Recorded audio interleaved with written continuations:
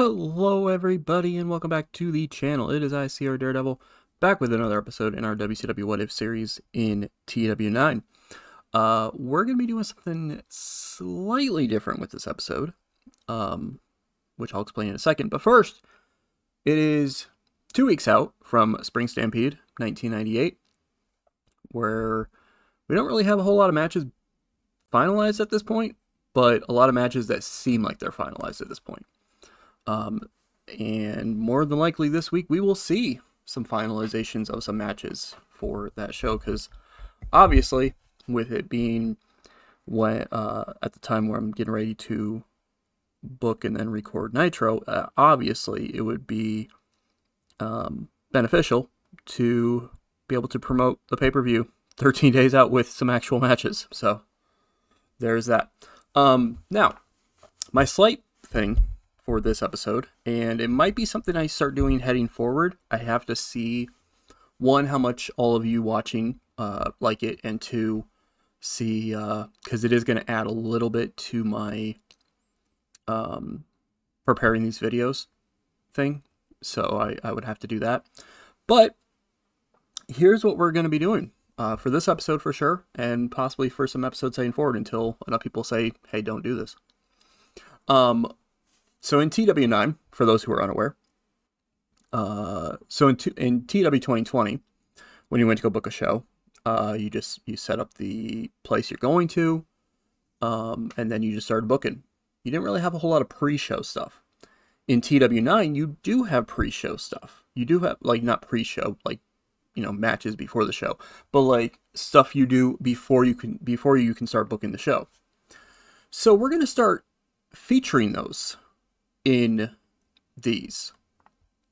Um, just to kind of see, you know, just so you guys can see like what might be popping up.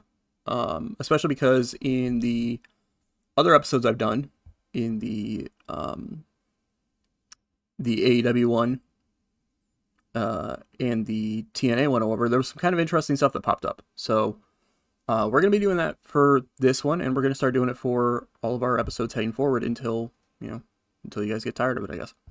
But anyway, so we're starting off. Um, it says we're booking Saturday night. You guys are not going to see Saturday night. Again, this Saturday night at this point for me is just I just throw on one match that's usually between, you know, an un, unimportant people, or maybe I'll throw on a recognizable person who I don't have any plans for that week to take on somebody, uh, and then just a few promos. It's it's literally just my um, C show at this point, basically. Um, it has like no meaning to anything story wise. It's just you know some promos building people up and all that.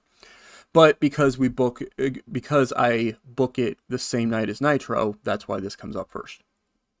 So, as you see, here's the list of stuff we can do. Uh, we can give the workers night off, some the night off over, so that way some of them can work for other companies that might employ them.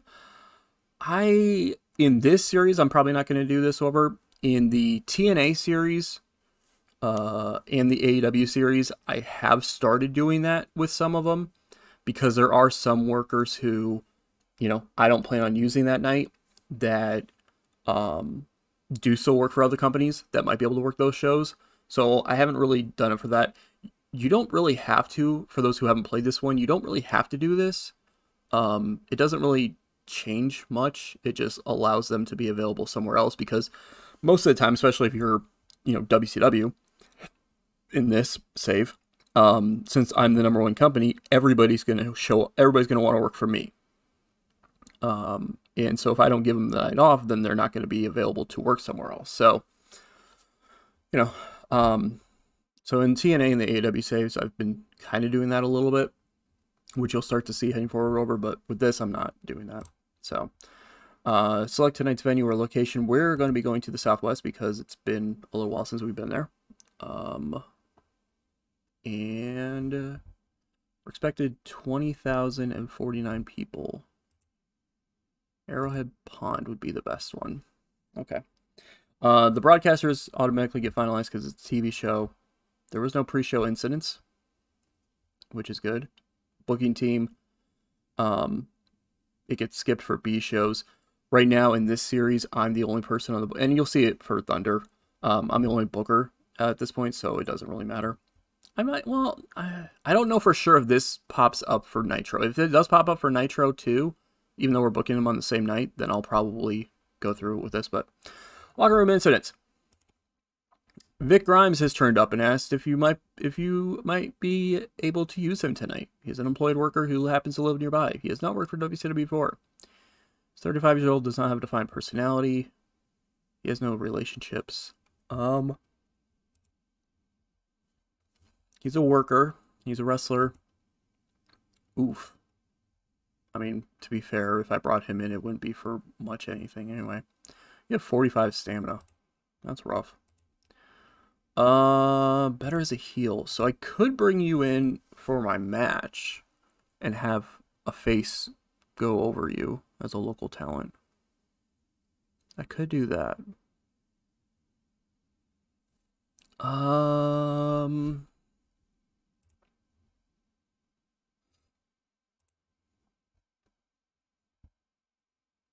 it would just be a bad match, regardless. You know what? We're just gonna say sorry. There's no spots available. Um, I don't really have a. I, I might if I'm gonna go find a local talent, it's probably gonna be somebody who's better than that. Bison Smith wants to be allowed to hang out backstage. Unemployed worker who happens to live nearby. He's not worked for WCW before. He has no relationships. I don't know why he's hanging out backstage. He's professional at least. Um, I don't know. New kid on the block, I guess. I don't know why he's wanting to hang out backstage, but I don't see a problem with it. So, yeah, sure, why not? Hang out backstage. Meng came up came to you backstage and said he thinks Lance Storm has a bright future and he'd be willing to put him over to help take him to the next level. This offer is good for two matches and will expire July 5th of 1998. So we have three months for that. Okay, I that's gonna be weird because they're both heels, but I could make something work for that, I guess. So that's something. Tommy Dreamer Rocky Maivia helped create helped really helped create a fun and relaxed atmosphere backstage after somehow finding a karaoke machine and starting an impromptu pre-show competition. Their over-the-top duet was a highlight according to those in attendance. All right. Ric Flair came back came to you backstage with an angle idea. Has been automatically added to your stored creative ideas. Okay. Uh, Diamond Dallas Page is our head men's trainer, and he ran pre-show training drills to work on basics and safety for Rocky Maivia, Billy Kidman, Sexton Hardcastle, and Ron Killings. Those are the four men that are getting trained at this point.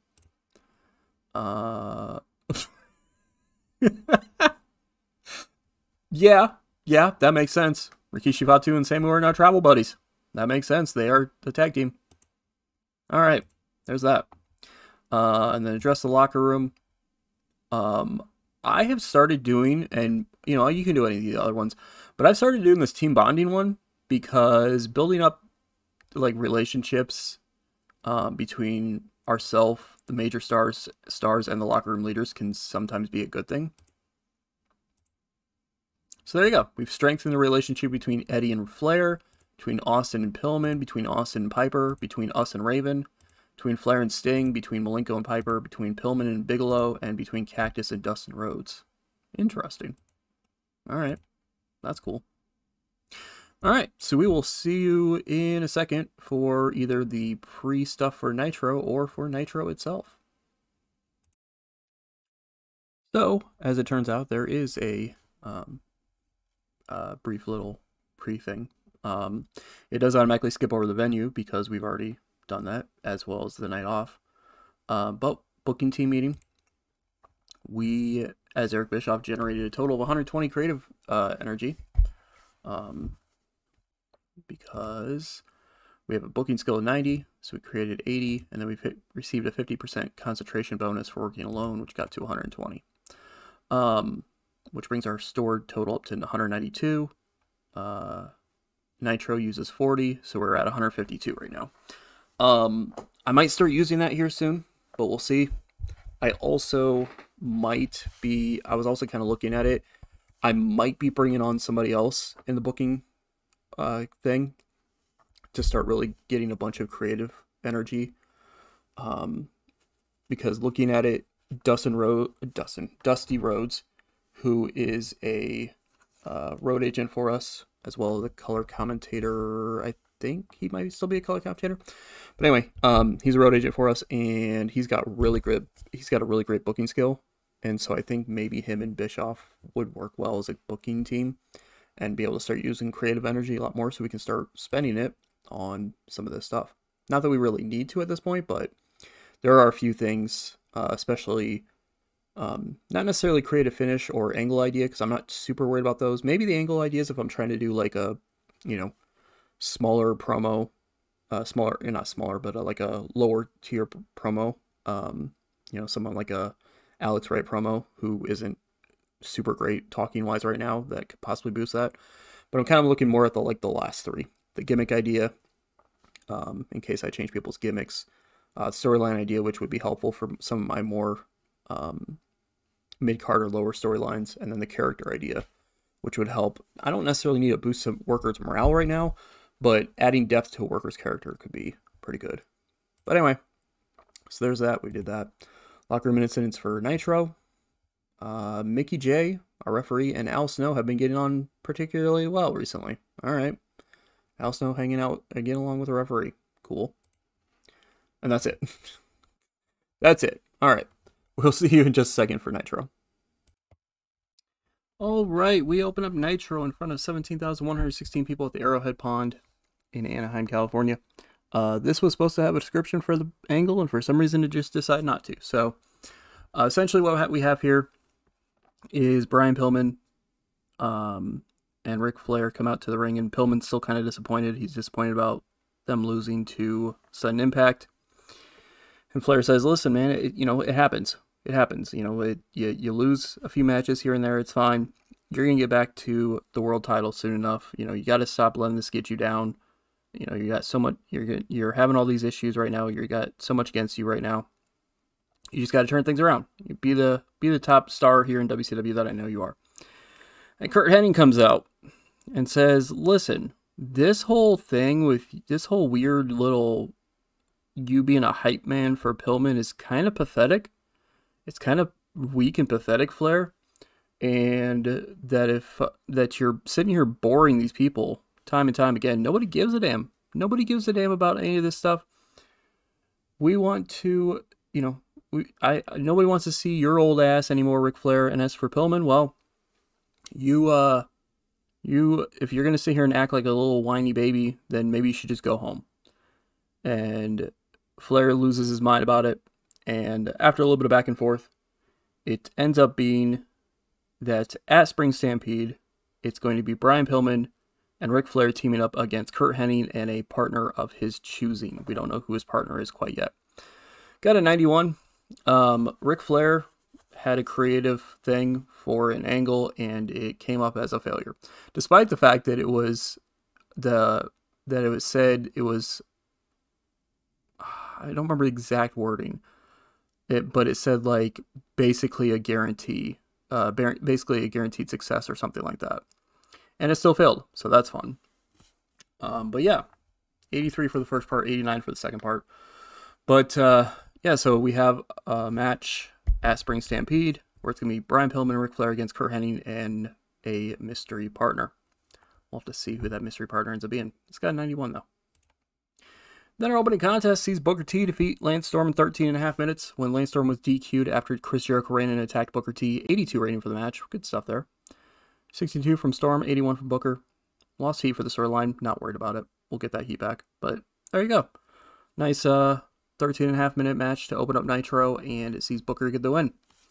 Um, it's funny, like, I always feel weird sitting here and doing these longer matches on Nitro, because, of course, in real life, Nitro never had like hardly ever had that long of matches, especially in 1998. But if you know, it's always kind of funny where I always do like a couple longer matches on Nitros because I don't like the idea of doing like 10 matches, but they're all like three minutes a piece, if that. Especially because TW would not like if I did that either. Um, but you know, good matchup here that sees Booker get the win, even though it was by DQ, thanks to Jericho's attack.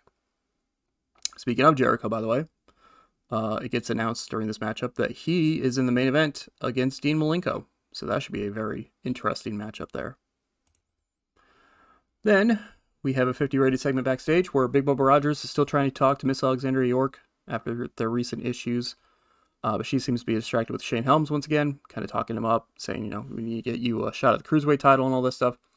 Rogers gets in her face, though, demanding to be heard, demanding to, you know, says, hey, I'm, you know, you need to be respecting me. I'm the one that's helping carry this team. I'm the one that's been getting Shane to where he is right now. Um, but Helms gets in his face for getting in York's face, tells him to calm down.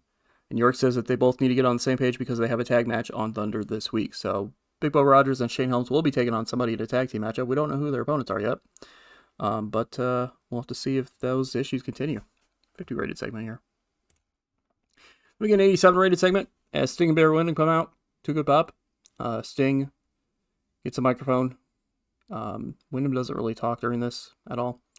Uh, again, 87. As Sting talks about Bam Bam Bigelow and Diamond Dallas Page seemingly wanting a shot at the WCW World Tag Team Championships when they've been a tag team for maybe a cup of coffee at best. Sting and Windham don't back down from a challenge, that's for sure.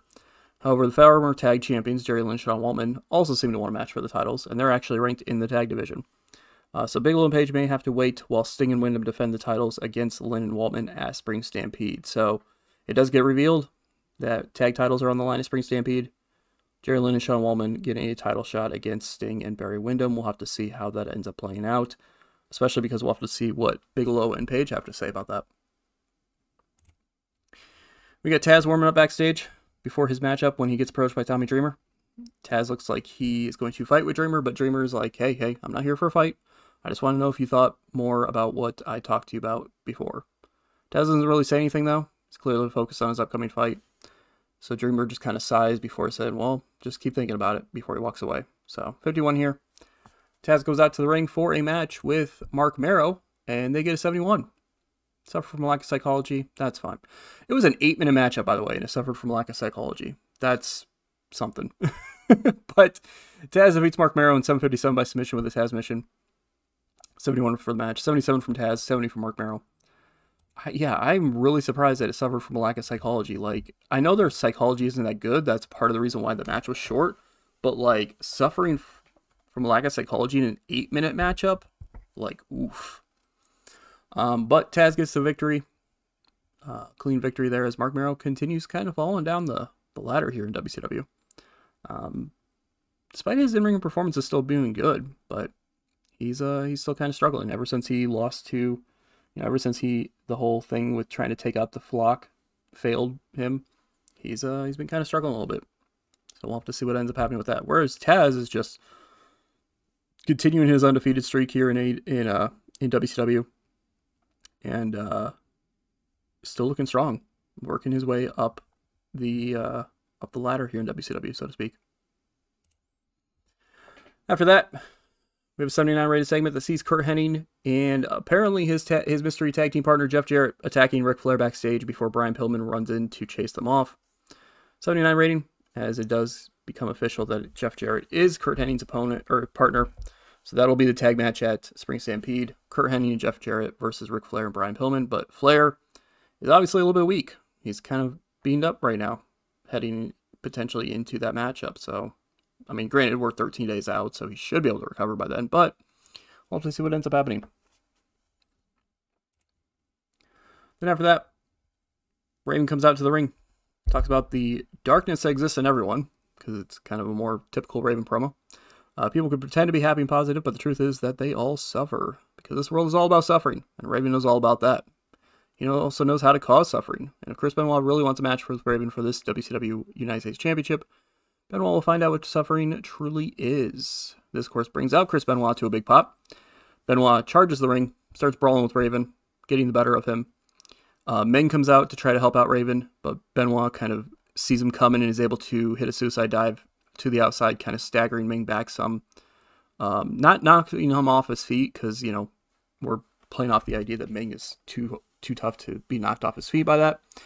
But uh, it staggers him back enough that Benoit is able to leave the ringside area um, and avoid having to be in a two on one situation. As Meng is pissed while Raven slowly recovers in the ring. 80 rating. Good stuff there for that. kind of building up that storyline. Ron Simmons and Rocky Maivia are standing by backstage. It's 53. That's what it is. Uh, Maivia is disappointed after losing to Meng on Thunder, but Simmons tells him, you know, it's all right.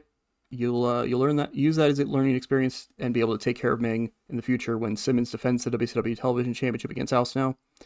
Simmons tells Snow to figure out when he wants the beating he deserves from Simmons because as the champion, Simmons is offering a title match to him. Because remember, technically Jeff Jarrett is the number one contender for the television championship right now, but uh, the champion can issue a title match, can can uh, choose to defend the title against anybody in the top five, and Al Snow is in the top five.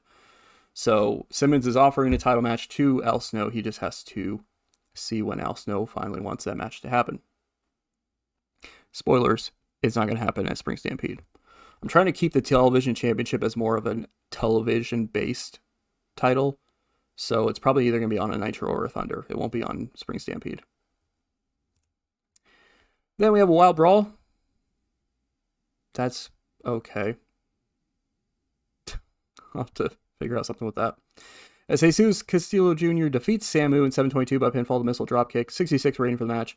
Of course, this is stemming from these two tag teams recently having issues with each other, the Caribbean Express and Fatu and Samu. Um, and Jesus is able to get the victory over Samu here on Nitro. Uh, Jesus and Miguel Perez Jr. are an awkward pairing, so Miguel apparently can't manage Jesus. Otherwise, we're going to get this awkward pairing thing heading forward. So that's fun. Uh, I might just have to keep, you know, I might just have to keep putting him at ringside, but not actually have him as a manager. Um, but anyway, this guy's 66. Uh, gained heat for the storyline, so that's kind of the main, that was kind of the main focus of that. I don't expect, you know, I'm not expecting this this mat, you know, these matches and story and this storyline to be like a really great one, but it's a way to to get these four used, um, get them some popularity and help fill the cards as well. So, but uh, yeah, Caribbean Express getting one up on Fatu and Sam, we'll have to see what ends up happening with that heading forward. Yeah, thank you. Megumi Kudo is standing by backstage. Talks to everyone, uh, or talks about everyone asking her about Dean Malenko's recent attitude. Says she brought another comment about that, but says as the only t- two-time WCW Women's World Champion, she will be watching the match between Mayumi Ozaki and Medusa for the title very closely. It is also revealed that that match will be happening in Spring Stampede. It will be Mayumi Ozaki and Medusa fighting for the WCW Women's World Championship. So Medusa finally, you know, getting a, a, title shot again. Can she finally win that championship? She's had a few title shots in the past. She has failed every single one of them. Can she finally get the victory this time around? We'll have to see. 48 rating for this. Uh, advance the storyline there. Kudo's usually a little bit better at a promo, so I'm kind of confused, but whatever. We get Dustin Rhodes backstage, and he walks into Roddy Piper's office. Piper's on the phone but tells whoever he's talking to that you'll talk to him later before hanging up. Rhodes wants to know what the deal is booking Cactus Jack versus Steve Austin for the WCW World title at Spring Stampede, another match that is official. You may be wondering, well, Daredevil, why are you like all of a sudden putting 15 matches? Well, not 15, but why are you suddenly making all of these matches official for Spring Stampede? One, we're 13 days out. Uh, and two, the idea is that um, a couple of these were kind of like revealed by uh, a commercial that was advertised. Not that it was like, oh man, this is the way you find out, but it's like it's it's one it's some of those where it's like it's obvious that that match was going to be made official, and so it it gets revealed as being official via a commercial, you know, advertisements for it. Anyway, Piper says that Austin requested the match, and the Cactus agreed to it as well, because of course, remember Steve Austin did request on Thunder. He said, you know, if Cactus wants a match at Spring Stampede, he's more than welcome to. Apparently, Cactus agreed to it, so they're going to have the title match at Spring Stampede. Dustin says that the only person who should get that title shot, who be, should be getting a title shot, that is, is him. Piper says that Dustin can have a title shot whenever he wants. He just has to cash in his World War III opportunity. And for some reason, I didn't put a space between War and three. Whatever. Uh, Rhodes says that he shouldn't have to cash in that, cash that in to get a title shot, and may need to show Piper just what he means by that. Before Piper can ask what that means, Rhodes leaves the office. So Dustin Rhodes he feels like he deserves a world title match without having to cash in his World War III opportunity and he's not happy about the fact that Cactus is getting the shot before him. So we'll have to see what ends up happening with that. Of course, Cactus Jack has also recently been having issues with the, the New World Order coming to Eddie Guerrero and Two Cold Scorpio's aid recently. So we'll have to see, you know, is Cactus going to be spreading himself a little too thin with uh, trying to fight for the world title while also dealing with the New World Order? Who knows? 92 rating for this segment, though. Then before our main event, we get a 92 rated segment that sees Chris Jericho stand by backstage before the main event and says that he showed that loser Booker T earlier was going to happen, what's going to continue to happen while this conspiracy continues here in WCW. And tonight he's going to defeat the former U.S. champion Dean Malenko to prove that he's still deserving, that he should be the one getting the shot at the WCW World Heavyweight Championship instead of those in charge continuing to hold him back from that opportunity. He kind of briefly talks about how Cactus shouldn't be getting that opportunity, it should be him, and that he's going to use tonight's main event to prove that he deserves a shot at the title. And tonight's main event gets a 92 rating. Uh, unfortunately, Jericho does not use this as an opportunity to prove that he deserves a world title match because, thanks to Booker T running in and attacking Jericho when the referee was distracted, Dean Malenko defeats Chris Jericho in 1545 by submission with the Texas Cloverleaf. 92 rating for the match. Crowd was at a 90. Wrestling was at an 89. Wow, the crowd is actually hotter for this match than the wrestling. That's kind of crazy. Jericho with a 91, Malenko with an 87. Malenko was like off his game, it seems like. That's weird. Oh no! Come on! Damn it. Transferring over from the old game to this game has given us Dean Malenko declining physically, which means he's his stats are going to start going down and he's going to start getting closer to retirement here in the next year or two. That sucks. Um, I mean, obviously his stats are are great enough right now that it probably won't be super noticeable for at least another year or so. Like he'll still probably be able to start unless he starts like really dropping numbers. Um, he'll probably still be kind of doing mid to upper 80 in ring performances for a while but God, that sucks. He's declining at this point. Um, I still might do my plans for him, but I don't know for sure about that now. I'm not going to spoil what they are because in case I do end up still doing it, but I did have plans for him in the future that are going to have to either be quickened, like I had to do with Diamond Dallas Page, or they're going to have to be uh, changed completely. If I end up dropping the plans, I'll let you know what they are, but that sucks. That really sucks. Nevertheless, Dean Malenko with the victory over Chris Jericho thanks to Booker T attacking Jericho. And Nitro gets to 91, increasing our popularity 13 regions. Good stuff there. Uh, financial report. We this is just showing you how much money we're making at this point. Like, we have so much money, it's not even funny. We just made almost $2 million off of just Nitro and Saturday Night, because Saturday Night was taped before Nitro. So we made almost $2 million from both of those shows. That's not even Thunder either. So that just shows you how much money we're making at this point, hand like hand over fist. So at this point, we're probably going to start offering a lot higher contracts to people for one. Um, but I'm also going to start looking at other stuff I can boost up at this point because we're just making way too much money at this point now. So I got to figure out something because we have 202 million dollars now. So I got to figure out something for it. Popularity recap.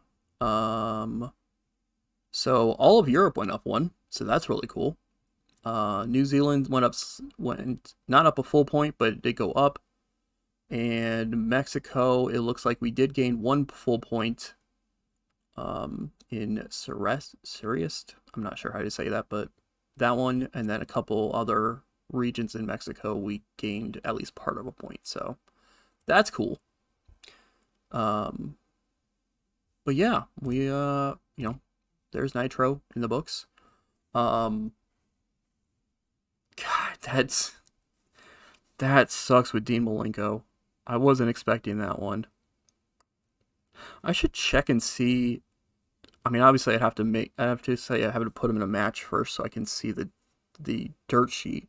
But I wonder if Page's decline transferred over, because that'd be hilarious if Diamond Dallas Page is no longer declining physically. That'd be hilarious. Um. All right, so let's look at this stuff real quick. First off, why did this not? Yeah, why did that not save that? That's weird. Um. So on the night 7.1 billion people watching Nitro. What the hell? Man, that must have really been adjusted from the previous game to this one. I guess that does make sense. I do remember them saying, I do remember it being in the notes that they were going to adjust the TV uh, stuff more accordingly, I think it was. Um, so only 7.1 million people watching now. Uh, Raw wasn't done for some reason though. Oh, because this would have this happened after. So when I started the save in this one, in this, it started on Wednesday, I think it was. Yeah, and so it would have been after Raw would have been taped for this week. So technically, we go on a unopposed this week, just because of switching over from one game to the next. CMLL had an 82. Rey Mysterio Jr. was not in the main event, and that's why they only had an 82. ECW had a 74, which is good for them. Terry Funk and Taz defeated Special Edition, which is One Man Gang and Sandman. Uh, I think they pre yeah they taped this on Saturday, so that's why Taz was featured. So Taz technically was on two shows in one night. Hell yeah, Taz pulling a Rick Rude. I mean, he's still working for both of them because we're you know we have a deal with ECW, but it's still just kind of funny. It's like oh Taz was in the main event there, and he also wrestled on Nitro. Man, he's getting super over. Um, I don't know BCW. Don Callis. That's awesome. Uh, I was gonna say I don't know if BCW is doing much of anything to look at. They did. They got Mike Rotunda, former IRS. Yeah, a 42 in ring performance there. That's part of the reason why he's no longer with WCW anymore. Um, let's see. Anything of note here? Scott Hall's gonna start a feud with the Warrior.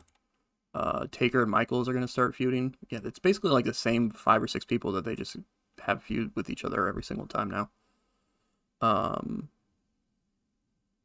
but yeah, there's that. Uh, there's not really much else to look at for Nitro here, so this is a longer one, this whole video is going to be super long, which I apologize for. But let's, uh, you know, we'll see you in just a second for Thunder. All right, time to look at the pre stuff for Thunder. Uh, we're not giving anybody the night off. The venue, we're going to focus on the tri-state area. Um, I might consider running shows again somewhere nearby soon, but uh, apparently it chose MSG for us. So there's that. I didn't want to, I probably shouldn't have clicked pick the best option because I kind of didn't want to keep running MSG every time we do Tri-State, but whatever. Booking meeting. We now have 232 creative energy. Uh, again, I will use that at some point. Locker room incidents. Rocco Rock wants to work for us. You're 44 years old at this point, and I don't know if I would use you if I don't have Johnny Grunge as well. You also have 36 stamina. That's that's bad. Uh, I mean, it's not going down, but that's that's horrible. So it's a, no, I I don't have any use for you. Justice Pain wants to be used tonight. Uh,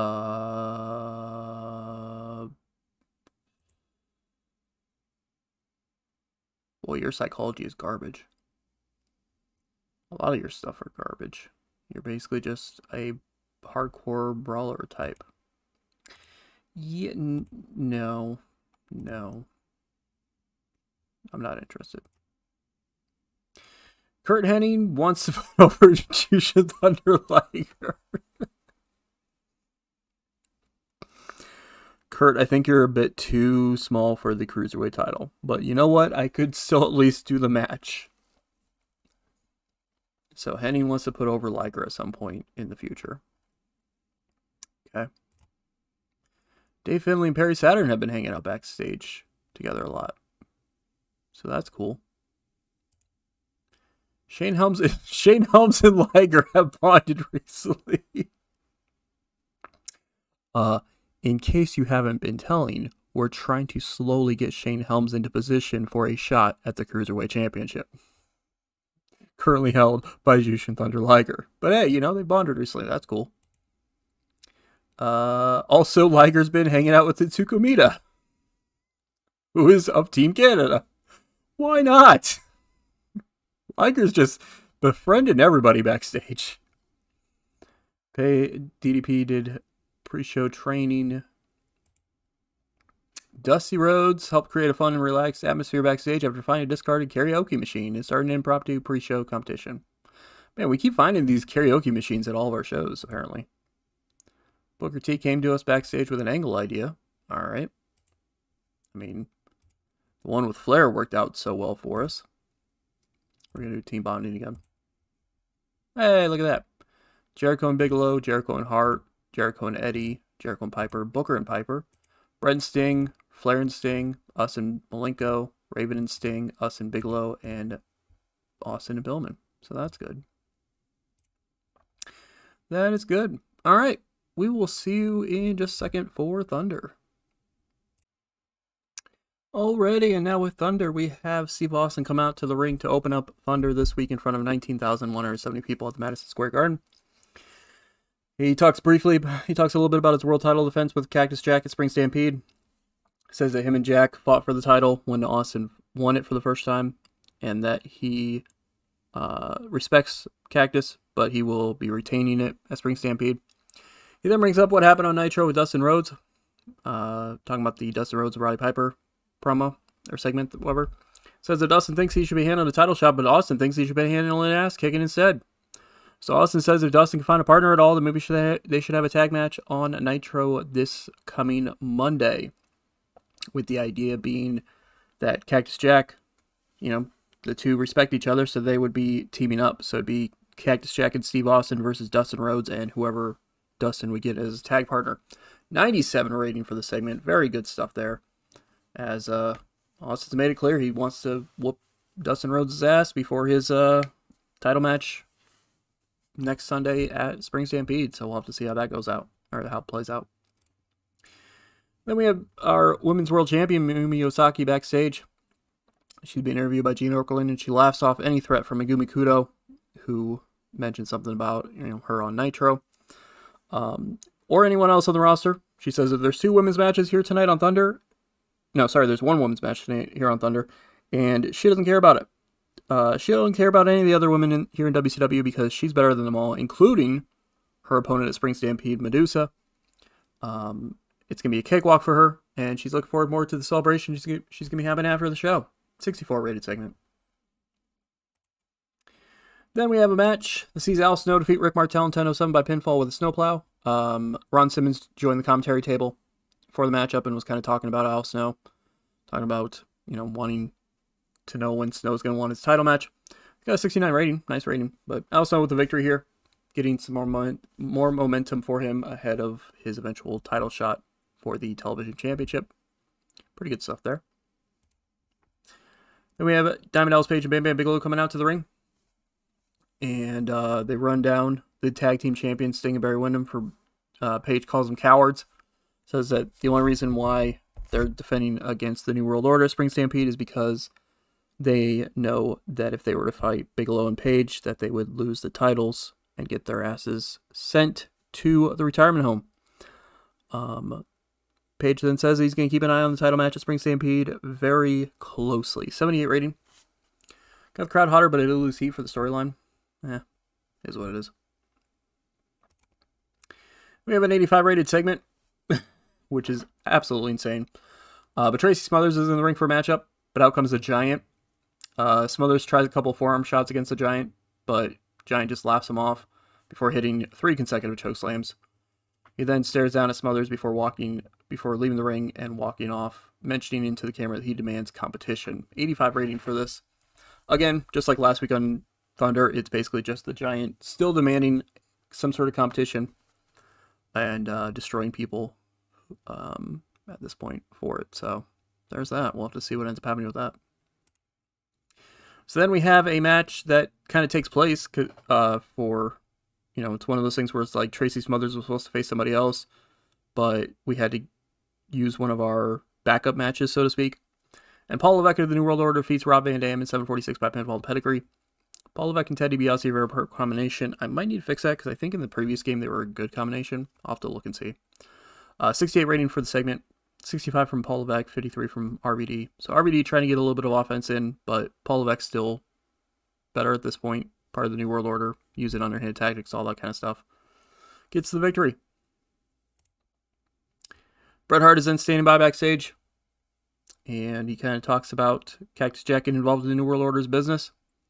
Says the Cactus, you know, he doesn't know why Cactus is getting involved in the New World Order's business, but he, just like everybody else before him, just like Flair and Pillman and Eddie and Two Cold Scorpio and every single person who has been involved, who's tried to stop the New World Order before, will fail as well. He says Cactus even tried to stop the New World Order in the past, couldn't get it done. He doesn't know why Cactus is trying to do it again this time, especially because Cactus should be focusing on his world title match at Spring Stampede against Steve Austin. He says one, you know, he doesn't really care who wins that matchup because he will whoop or he will defeat either one of them for that world title. Uh, he just needs to get that opportunity once again, and he will be the new WCW World Heavyweight Champion, whether anybody around here likes it or not. And then he kind of briefly talks about tonight's main event, which gets announced that it's going to be a six man tag. Is going to be Cactus Jack, Eddie Guerrero, and Too Cold Scorpio taking on Bret Hart, Jerry Lynn, and Sean Waltman. And Bret says that the New World Order will reign, remain uh, will reign supreme here tonight and go from there. 98 rated promo, very good stuff there. Then we got a tag team matchup that sees Big Bubba Rogers and Shane Helms defeat Can-Am Express in 824 when Helms pins Furnas with a bird breaker. A vertebreaker that is 63 rating for the match. Really good match rating there for this, honestly. Um, Phil LaFon and Doug Furnas pulling off 55s, which is better than I think they did in the previous game. So apparently, switching to this game over, it uh, seems to like them a little bit more. Seems to like them. Yeah, that's better, better uh, in-ring performances a little bit. So that seems to like them a little bit more. But um, the the kind of storyline with this matchup is that Big Bubba Rogers started off the match. Uh, he ended up tagging Shane's Helms in, and then Shane just refused to tag out. Uh, it was one of those things where like Rogers was like, "Hey, you know, tag me in, tag me in," and Shane Helms refused to tag out. Um, and so Rogers was getting pissed while on the apron. 63 rating here. Afterwards, damn it, I forgot to put this stuff here. But basically, it was just Big Bob Rogers and Shane Helms kind of get into a, a bit of a verbal argument with each other as Miss York is trying to get them to calm down. Uh, essentially, is what happened here. Got a 47. Lost heat. Uh, that's what it is. So it looks like even in victory, Rogers and Helms can't seem to remain on the same page right now. We get 46 rated segment, which I knew was going to happen, but that's fine. As Jesse James Armstrong and Ron Killings are hanging out backstage and talking when Christian Cage and Sexton Hardcastle approach them, uh, Cage and Hardcastle mock the two of them, making fun of Armstrong's family issues, making fun of the fact that, you know, the rest of his family can't seem to appreciate or it doesn't uh, like Jesse James hanging out with Ron Killings. Seems to be this whole, you know, it's almost as if there it's like a uh, family rejecting a lover thing, and that and Christian and Sexton kind of laugh about it.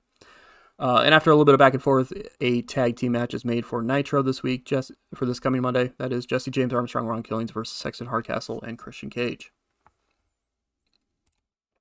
Then after that, we have a triple threat match in the women's division, and the NWO's Dynamite Kansai defeats uh, Hikari Fukuoka and Mary Apache in 822 when Kansai pinned Hikari with the Splash Mountain. Kansai was head and shoulders above everyone. She had a 60. So NWO looking strong here as the former women's champion, Dynamite Kansai, who I imagine will also be watching that match with Ozaki and Medusa pretty closely at Spring Stampede because, you know, obviously as a former champion, she wants the title back. But she gets a victory here as the New World Order continue to look good so far. Um, Paul Levesque won earlier, Dynamite Kansai won just now, so can the can Bret, Lynn and Waltman make it three for three in the main event tonight. But before we get to that, Ted DiBiase is standing by backstage in an office. And it's revealed to be Eric Bischoff's office. Eric Bischoff makes his on-screen return. Uh, of course, he's been out for a few for weeks now after being the recipient of that brainbuster and kind of subsequent attack by Eddie Guerrero. Um, after Eddie Guerrero turned down the New World Order, Bischoff says he wants to know what DiBiase has done about Eddie Guerrero after what happened. DiBiase then kind of talks about tonight's main event and talks about, you know, Lynn and Waltman getting a victory over him and over Guerrero and Scorpio recently and all that. Bischoff says that's not good enough and he's going to make Guerrero pay for what he's done. 68 rating for the segment. Then we have Two Cool Scorpio, Eddie Guerrero, and Cactus Jack standing by backstage. And they talk about tonight's main event against the New World Order. Um, they say that it's gonna. They know that it's gonna be a hell of a fight against them because they know that the New World Order is full of tactic, full of uh, sneaky tactics, but that they're gonna be able to work together well enough to get the victory. Uh, and then Cactus also kind of briefly talks about how he could be the next the next WCW World Heavyweight Champion, and mentions about how uh, you know when uh, you know once they're able to kind of take care of the New World Order, maybe uh, you know, as a champion, maybe he'd be willing to give either one of these two youngsters a, a title shot, uh, that kind of thing. I don't always call him youngsters because I think Scorpio might be older than him, but you know, that's just the way that it's playing out on TV. Um, but yeah, so Cactus kind of talks a little bit about possibly winning the world title, but is he a little too confident? Or and is he is his focus a little too stressed stretched out? He might be too focused on the New World Order right now to be focusing on Steve Austin and the world title.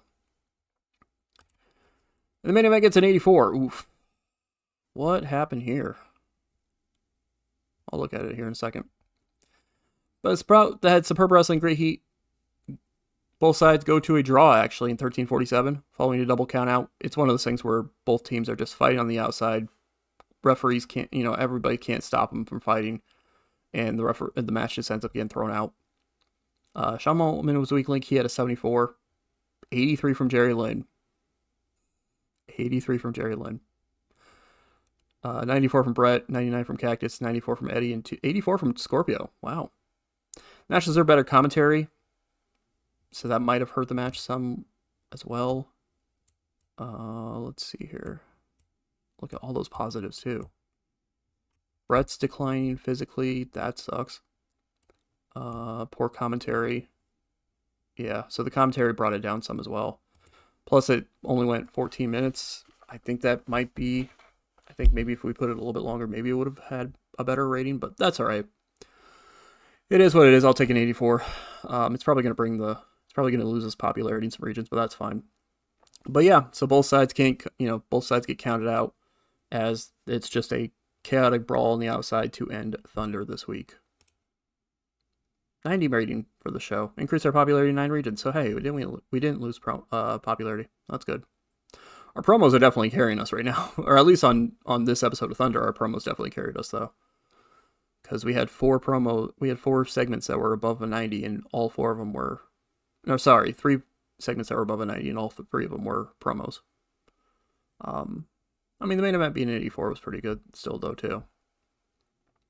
But there you go. So there's uh there's Thunder we'll look and see. Yeah, we made $2 million in our finances because, of course, we did. Popularity wise, uh, we went up a point in New Zealand. Nice.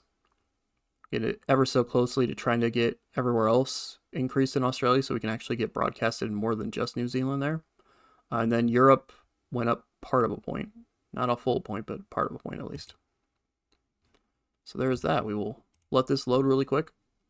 Uh, and then we'll kind of go over that. I, I know I went through Thunder probably a little bit quicker than I probably should have, but to be fair, no, after recording the different parts of this video, I know that it's going to be a very long video. I'm going to have to do a much better job of trimming it down in the near future. Um, but we'll have to see what is happening with that. Uh, switch over to the recording screen. The recording screen. Switch over to the TW screen, that is. Uh, ratings for the night. 7 million people watching Thunder.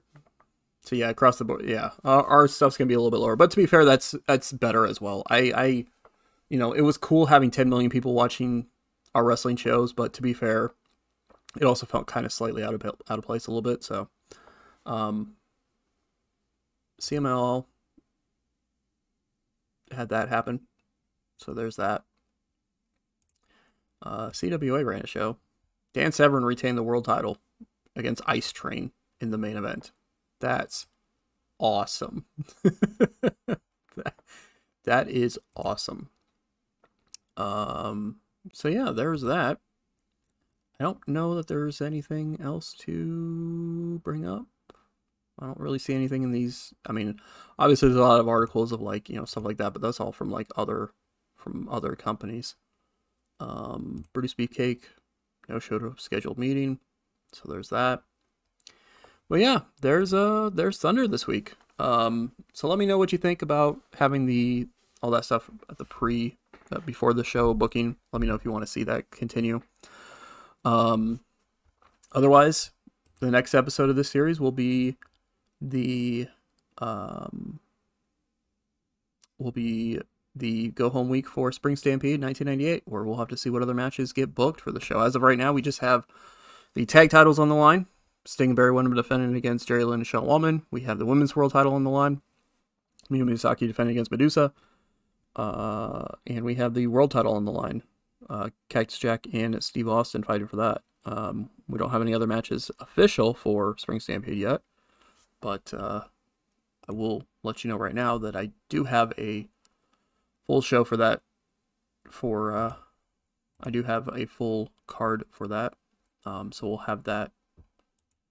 Uh, oh, right, sorry. We also have Brian Pillman and Ric Flair versus Curt Hennig and Jeff Jarrett. I forgot that I made that uh, official for Spring Stampede. Um, so we have that as well. But we will have to see what else possibly gets added to the card. But that's going to do it for us. Thank you for watching. Definitely appreciate it. And we will catch you in the next video.